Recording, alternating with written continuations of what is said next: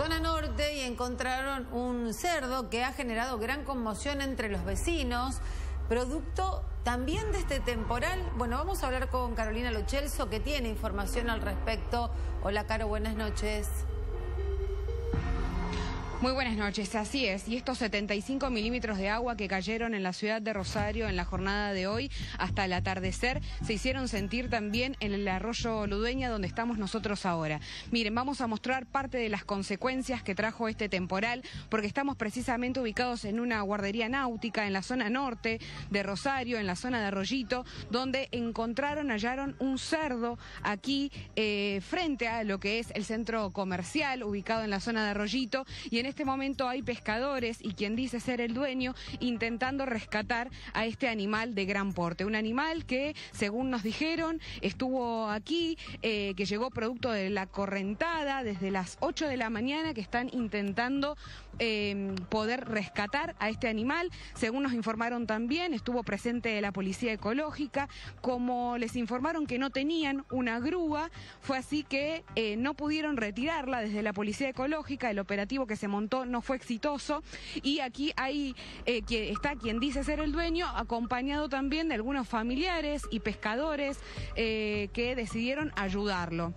¿Cómo hicieron? Bueno, lo ataron con una soga, estaba en la barranca de este arroyo Ludueña, precisamente donde se emboca antes de llegar al río Paraná, y fue así que eh, este operativo decimos que resultó entonces exitoso porque la acaban entonces de ubicar, fíjense en imágenes, la estamos observando, este animal de gran porte, aproximadamente unos 300 kilos, que tuvieron que lentamente ir conduciendo hasta esta guardería náutica donde nosotros estamos ubicados.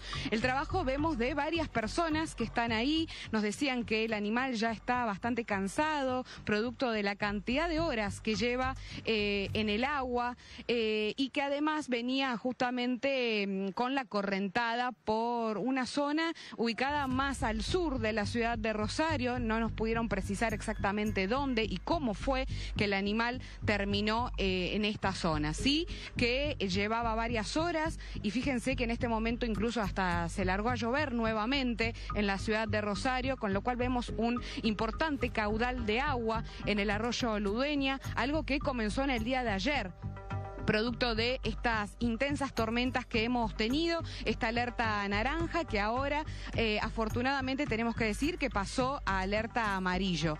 No obstante, aquí el animal acaba de ser rescatado y ahora resta entonces confirmar cómo lo van a retirar de este punto. Voy a tratar de acercarme, vamos a, a intentar acercarnos. Disculpen la desprolijidad, es una zona de barrancas, estamos bajando por escaleras y queremos acercarnos para hablar con quienes participaron de este rescate y para que nos puedan decir, al menos fuera de cámara, no se preocupen, estamos fuera de cámara porque sabemos que preferían no brindar información.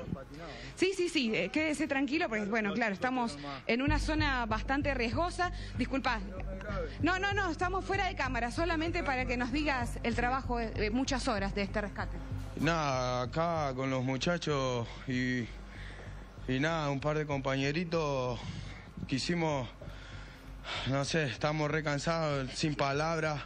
Eh, pudimos lograr a que no se ahogue, que me la lleve la, correntada, porque eh, pedimos ayuda a la policía, a todos, hasta de Laguna, muchas personas y no, no, no, no hubo caso, así que... ¿Cómo fue que terminó este animal aquí? Que nos puedas precisar algo de eso. Vino por el, el arroyo Lubeña, del arroyo Lubeña vino a la embocadura de acá, que termina, y esperó a, poder agarrar la costanera para poder eh, plantarse ahí y, quedarse ahí, pero nada, una lucha enorme, pero gracias a Dios el animal está bien.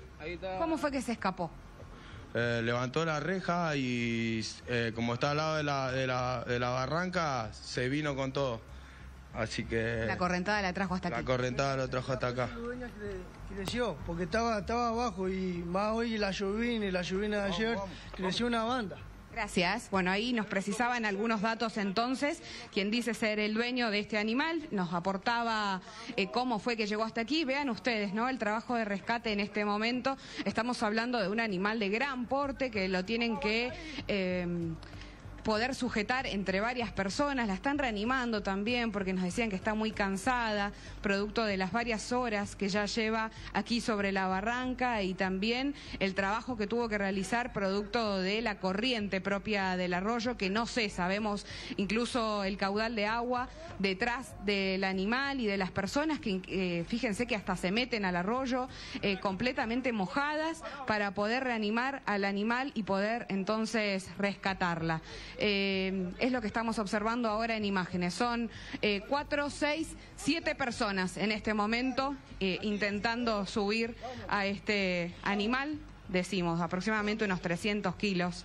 Y fíjense también el estado en que está este animal, ya incluso hasta lastimándose, producto de cómo le están sujetando la soga, el cansancio. Fíjense, claro, ahí le ven la patita, está lastimada, una pata trasera también la pata izquierda trasera y tiene marcas producto de la soga porque eh, varias horas eh, llevan tratando de sujetarla y bueno, es una hembra, por eso eh, también definimos que ya es una hembra, lo podemos confirmar.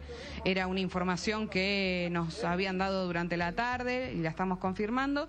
Em, y en este momento, claro, le están reanimando las patas porque está muy cansada y necesita entonces... Eh, tener una reanimación, digamos, urgente. Mm, claro, uno, por supuesto, mira estas imágenes y se hace muchas preguntas, ¿no? Si está dentro de los carriles normales de un rescate, este que se está produciendo ahora, si están utilizando los elementos adecuados, si no tendría que tener debajo una tabla para que no se raspara. Por ejemplo, me lo pregunto desde el desconocimiento, ¿eh? yo no lo sé, imagino que los más adecuados y preparados para hacer un rescate semejante serían personas preparadas. Uno no duda o prefiere no dudar de la buena voluntad de estos pescadores, de estos muchachos, pero uno no sabe si están realmente preparados o tienen los conocimientos para llevar adelante un rescate así, ¿no? Sí, las imágenes que estás compartiendo realmente son muy sensibles, Caro, y estamos viendo cómo están intentando. Bueno, mira, hay un poco lo que decía Pablo, ¿no? El tratar de poner algo, entendemos, sobre la parte del asfalto para no seguir lastimándola, porque después de tantas horas y tratar de cubrirla, pero sí es cierto, ¿no? Parece un tanto precario eh, la forma en la que se está llevando adelante este rescate. Sí, sí, totalmente lo que dice Pablo es cierto, la están subiendo, incluso el animal se va raspando mientras intentan hacerlo y vemos que lo están haciendo solo con una soga.